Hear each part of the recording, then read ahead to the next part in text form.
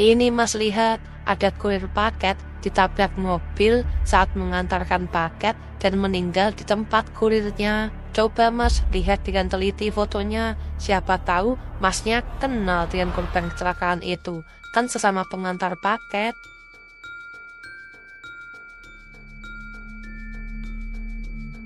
Kenal nggak mas? Siapa tahu itu teman masnya.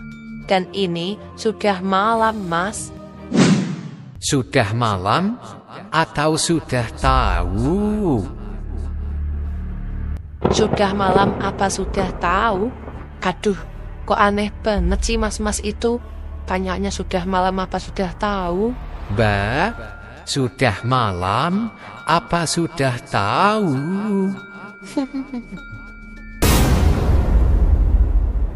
Apa sih mas maksudnya? Assalamualaikum, salam sejahtera untuk kita semua. Shalom, Om Swastiastu, Namo Buddhaya, salam kebajikan. Karena saya kasihan mas-mas itu kehujanan, akhirnya saya suruh masuk aja dek. Saya suruh tunggu di ruang tamu, sementara saya mengambil uang di kamar. Tunggu di situ dulu ya mas, saya ambilkan uangnya. Iya mbak, iya. Terima kasih sudah diizinkan berteduh.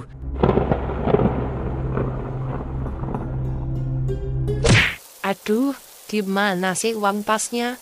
Em, eh, ini dia. Eh, kok aku merasa ada yang aneh ya? Di luar kan hujan deras sekali. Tapi kenapa baju mas kurir itu tidak basah ya?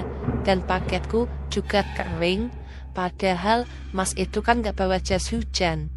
Coba aku pastikan sekali lagi. Loh, loh, masnya di mana ya? Tadi kan duduk di situ. Mas kurir, mas, mas kurir, di mana mas? Kok gak ada di ruang tamu? Mas.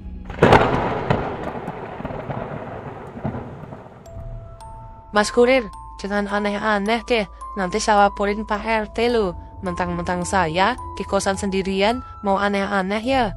Keluar mas, keluar. Gimana, mas?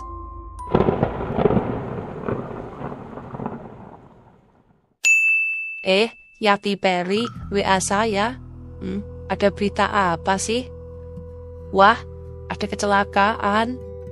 Coba, pengen lihat kayak apa gambarnya. Eh iya bener, ada kecelakaan.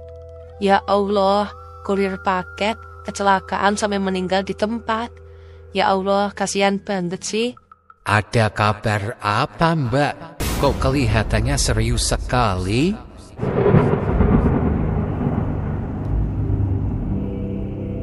Loh, loh, masnya di situ toh. Gak boleh mas ke situ. Itu khusus anak kos. Orang lain gak boleh masuk sampai dapur. Jawab pertanyaan saya mbak. Ada berita apa sih?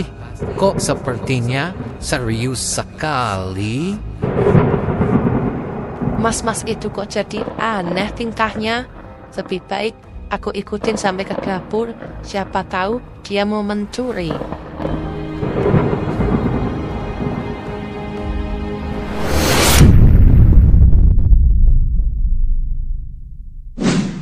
Wah, ceritanya mulai menarik nih Mbak Diah.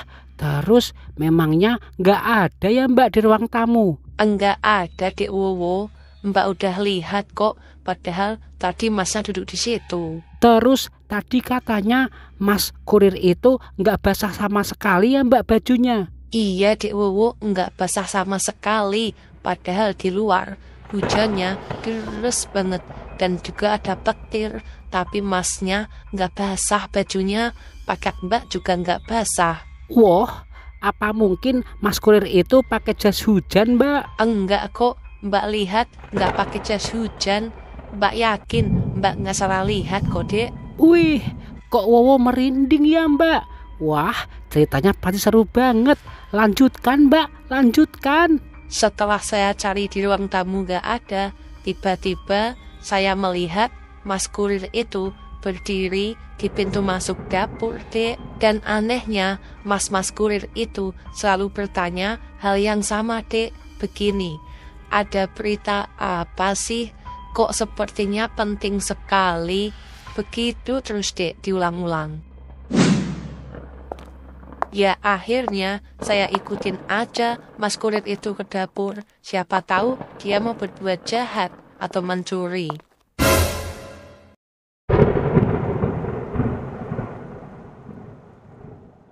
Lah, itu dia. Ngapain berdiri di situ?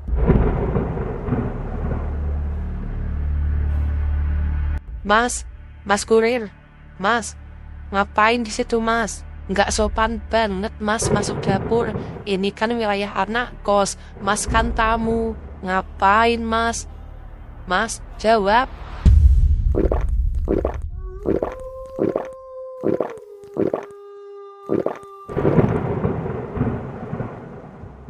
Eh, malah diem saja. Aduh, kok tiba-tiba bulu kuduku merinding?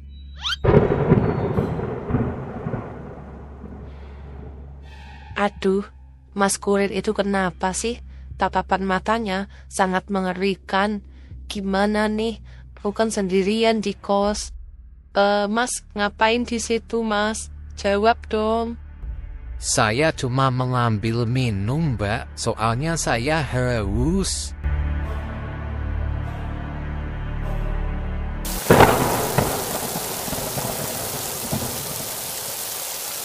Sudah dari tadi saya haus banget, Mbak. Banyak kehilangan cairan. Makanya saya langsung ke dapur saja. Kalau masnya haus, kan bisa minta saya, Mas. Saya ambilkan minum. Nggak langsung nyelonong gini ke dapur. Itu namanya nggak sopan. Oh, iya, Mbak. Maaf. Maafkan saya. Kenapa wajah Mas Kurir ini pucat sekali ya? Putih gitu mukanya. Apa dia kedinginan? Mbak, kok diam kenapa? Masih marah ya? Kok baju, celana, dan helm Mas Kurir ini sama persis dengan korban kecelakaan yang tadi ada di WA ya? Hmm, kok bisa sama sih? Eh, mbaknya kenapa? Kok melihat saya seperti itu? Saya jadi gak nyaman, mbak. Nggak apa-apa kok mas, nggak apa-apa. Tapi boleh nggak saya bertanya sesuatu? Boleh, mbak. Mau tanya apa? Masnya tadi ke sini lewat jalan mana mas? Kalau ke sini kan jalannya cuma satu, mbak. Lewat depan situ. Memangnya teh kenapa, mbak? Tadi waktu ke sini, masnya lihat ada kecelakaan di jalan depan situ nggak mas? Kecelakaan di jalan depan situ? Kok saya nggak melihat ya, mbak? Memangnya ada? Ada mas, kejadiannya satu jam yang lalu. Sedangkan mas kurir datang ke sini setengah jam yang lalu. Berarti harusnya masnya melihat dong. Eh, anu mbak, anu, anu saya, anu, eh, anu saya, eh, saya kok nggak melihat, mbak. Nggak ada kecelakaan tuh. Ada mas, kalau nggak percaya, nih lihat fotonya, kiriman dari teman saya. Ini mas lihat, ada kurir paket ditabrak mobil saat mengantarkan paket dan meninggal di tempat kurirnya. Coba mas lihat dengan teliti fotonya, siapa tahu masnya kenal dengan korban kecelakaan itu, kan sesama pengantar paket.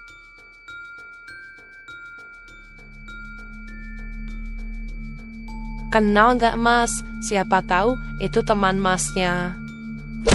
Waduh, saya kok nggak kenal tuh mbak. Kenal nggak mas? Eh, eh, saya nggak kenal mbak. Saya nggak kenal kok. Kalau nggak kenal, kenapa masnya gugup jawabnya? Oh, saya enggak gugup mbak. Saya cuman kasihan aja melihatnya. Oh, kasihan ya mas. Hmm, boleh nggak kalau saya bertanya sekali lagi? B -b -b -b boleh kok mbak, boleh. Apakah baju yang mas pakai sekarang ini adalah seragam dari kantornya mas? Kenapa tanya seperti itu mbak? Ya nggak apa-apa, tanya aja. Apakah baju yang mas pakai sekarang ini adalah seragam dari kantor? Kantor kami itu nggak ada seragamnya mbak. Para kurir bebas kok mau pakai baju apa aja. Loh, kalau nggak seragam, masa iya sih korban kecelakaan tadi bajunya sama persis dengan mas kurir ini? Aduh, aku kok jadi nggak enak perasaannya. Eh, masnya ke sini naik motor warna apa mas tadi? Motor saya warna merah kombinasi hitam, Mbak. Udah lunas kok cicilannya. Tuh kan, semuanya sama. Dari motor, baju, helm, kok bisa Mbak, sama? Mbak, kok bengong? Halo, Mbak? Anu mas, nggak apa-apa kok, nggak apa-apa. Ya udah, silakan pulang mas. Ini uangnya. Aduh, Mbaknya mengusir saya ya. Ini kan masih hujan, Mbak. Masa suruh pulang? Saya terpaksa menyuruh pulang mas kurir itu, Dek. Soalnya perasaan saya nggak enak. Kok bisa sama persis ya korban kecelakaan tadi dengan mas kurir yang ada di depan saya. Iya mbak, aneh juga ya. Kan mereka nggak punya seragam. Kok bisa sama ya persis? Makanya itu, Dek, perasaan saya sudah takut banget. Akhirnya, mas itu saya suruh pulang aja, daripada nanti ada kejadian apa-apa. Terus masnya mau pulang? Ya harus mau, Dek. Saya kan di kosan sendirian. Akhirnya, saya antarkan mas itu sampai ke pintu depan. Saya bukannya ngusir, mas. Tapi ini tuh udah malam. Lagian, saya kan sendirian di kosan. Nggak baik kalau dilihat orang. Tapi kan masih hujan, Mbak. Ya salah masnya sendiri. Siapa suruh hujan-hujan jam 12 malam kirim paket kayak gini? Udah mas, pulang. Nanti malah digrebek warga. Iya ya, Mbak. Iya. Sebenarnya peraturan kos di sini tidak boleh menerima tamu laki-laki di atas jam 9 malam, Mas. Iya, Mbak. Saya paham. Apalagi saya di kosan sendirian. Teman-teman saya pada mudik dan ini sudah malam, Mas. Sudah malam atau sudah tahu? Sudah malam apa sudah tahu? Apa maksudnya? Sudah malam atau sudah tahu? Aduh, kok aneh banget sih mas-mas itu? Tanyanya sudah malam apa sudah tahu? Mbak, sudah malam apa sudah tahu?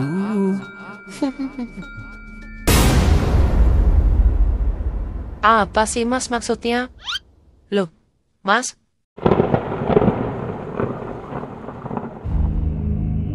Kok nggak ada lagi?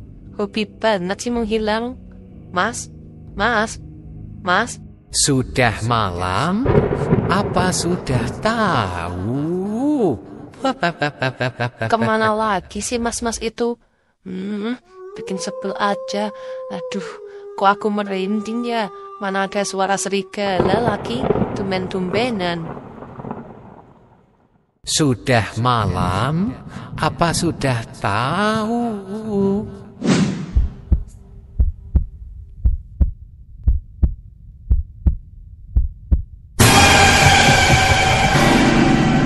Hah? Po, po, po, po, pocong? sudah tahu ya kalau saya ini korban kecelakaan yang tadi Mbak lihat. Sudah malam, apa sudah tahu Mbak? Kok saya disuruh pulang?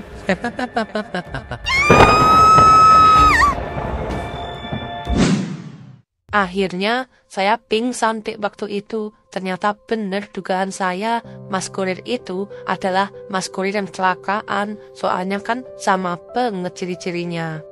Wah, berarti mas kurirnya itu bertanggung jawab mbak dengan pekerjaannya. Buktinya udah kecelakaan aja, masih mengantar paket.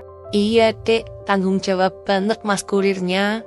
Makasih ya mbak pengalaman horornya, serem banget. Lain kali datang lagi ya. Nah, sekarang saya mau pulang dek. Mana bayarannya? Hah? Bayaran? Bayaran apa mbak? Loh, narasumber kan dibayar dek. Ayo cepat mana bayarannya? Naik pesawat dari Semarang ke Jogja sekitar satu juta.